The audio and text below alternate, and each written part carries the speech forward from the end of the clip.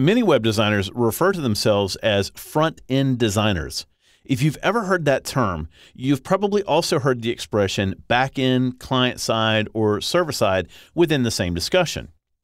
In this chapter, we're going to be exploring front end technology, so it would probably help for us to define what front end refers to and what front end design is in general. Well, in the simplest terms, front end could refer to the UI layer of websites, you know, the things that people see and interact with. Backend usually describes the processes that happen on the server that help make things work. Client side and server side generally refer to the same things and are often used interchangeably with front and back end.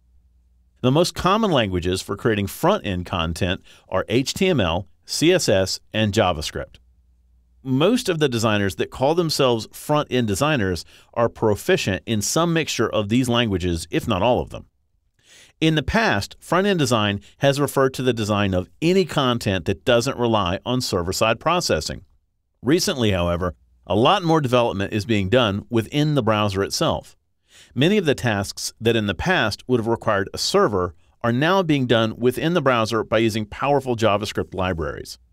This has led some to use the term front end developer to denote developers that prefer to process information within the browser you know, in many cases, these terms tend to overlap. So don't be surprised to see somebody refer to themselves as a front end designer or a front end developer and really mean exactly the same thing. As a general rule, front end designers are more visual designers than they are programmers. While languages like HTML and CSS are required to create their designs, most don't really consider themselves developers in the purest sense of the word. Here's a general list of some elements of web design that front end designers are responsible for creating mockups and establishing visual standards, structuring content semantically, ensuring the site's accessibility, controlling typography, page layout, form design, interactivity, animation, and creating images and icon assets. Uh, obviously, that is not a complete list, and some designers will specialize in specific areas of front end design, while others might have a blended skill set that allows them to work on broader tasks. The truth is, there's no one thing that accurately describes all front end designers. Most will work across multiple disciplines and tackle several areas of design.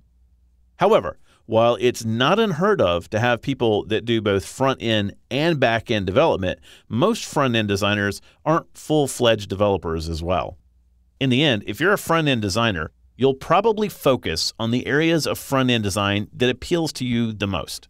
Just be sure to explore all of the various areas of front end design so that you have a broader understanding of how all the various technologies fit together.